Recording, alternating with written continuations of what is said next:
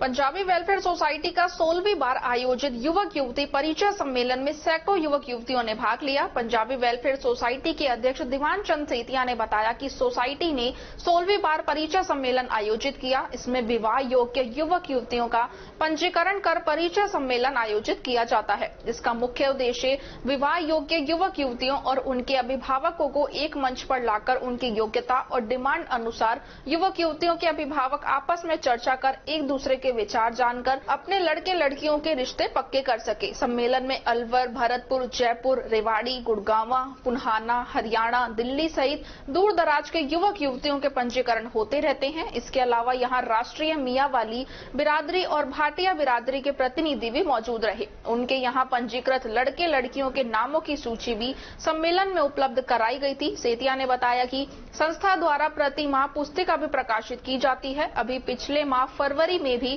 चार युवक युवतियों के विवाह संपन्न हुए हैं। यह सभी रिश्ते पुस्तिका में प्रकाशित नाम वालों के थे।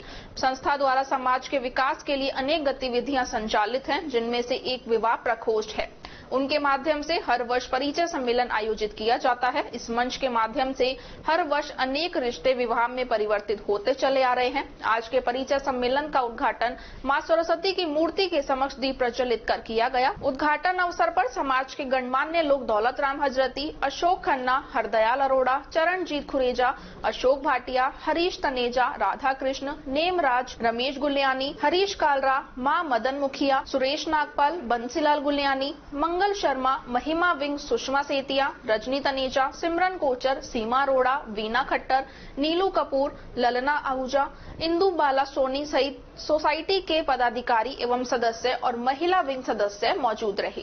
सोसाइटी अलवर का परिचय सोलहवा परिचय सम्मेलन आयोजित किया गया है। इसमें विभिन्न जगह से लड़के, पात्र लड़के और लड़कियाँ पंजाबी समाज के उपस्थित हुए। इसमें जयपुर से, मथुरा से, रेवाड़ी से उनाना से उसके अलावा रेवाड़ी से, फरीदाबाद से, गुड़गावा से, साथ ही गुड़गावा से मियाँ वाली बिरादरी के प्रतिनिधि भी पधारे हुए हैं। उन्होंने भी रजिस्ट्रेशन किए हैं। उनके पास भी बायोडाटा उपलब्ध है। साथ ही भाटिया बिरादरी, जयपुर के बायोडाटा भी यहाँ लड़के लड़कियों को उपलब्ध है। उसमें से भी जिनको जो सूट करता है, उन्होंने नोट किए हैं और आपस में मिलान करके उनके रिश्ते कराए जाएँगे।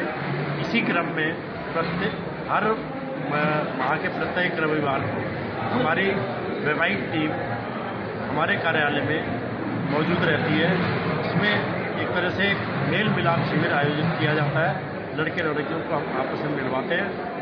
आज करीब करीब हमारे पास तीन सौ अस्सी लड़कियों लड़कों के और एक सौ साठ लड़कियों के रजिस्ट्रेशन हो चुके हैं समाज में। इसमें पॉजिटिव रिज़ल्ट आ रहे हैं। पिछला परिचय चौदह अगस्त को हुआ था। उसमें से भी कई रिश्ते हुए हैं, जिसमें से चार कैंडिडेट को शादियाँ तो अभी फरवरी में हुई हैं। दो दो छः फरवरी को दस फरवरी को हुई है। ये रिज़ल्ट है। तो बहुत अच्छा ये मंच है एक दूसरे को मिलवाने का। इससे क्या है, मिलने मिलाने का खर्चा बचता है और हम लोग सोसाइटी के माध्यम से एक प्लेटफॉर्म उपलब्ध कराते हैं। जिसने भी रिश्ता करना है उसके बाद अपनी इंक्वायरी करके रिश्ते करें, जहाँ भी अपना चाहे शादी करो। ये हमारा उद्देश्य है। दीवान चंद सेतिया जिलाध्यक्ष पंजाबी वेलफेयर सोसाइटी एवं संरक्षक राष्ट्रीय पंजाबी महासभा इनके नाम सम्मेलन में दीप प्रज्वलित कर इसका उद्घाटन किया गया था। इसमें समाज के गणमान्य नागरिक जैसे दौलत राम हाजरती अशोक खन्ना जी चरणजीत सुनेजा दयाल अरोड़ा अशोक भाटिया हरीश तनेजा और साथ ही महासचिव राधाकृष्ण अरोड़ा जी जी एल भाटिया जी देवराज भारती जी हरीश कांडा जी इसमें पंजाबी वेलफेयर की सारी महिला, विंग एवं यंग जनरेशन एम बाकी सारी जो पंजाबी वेलफेयर सोसाइटी के सदस्य थे उन्होंने बढ़ चढ़ के भाग लिया है और उन्होंने सारे काम को अंजाम दिया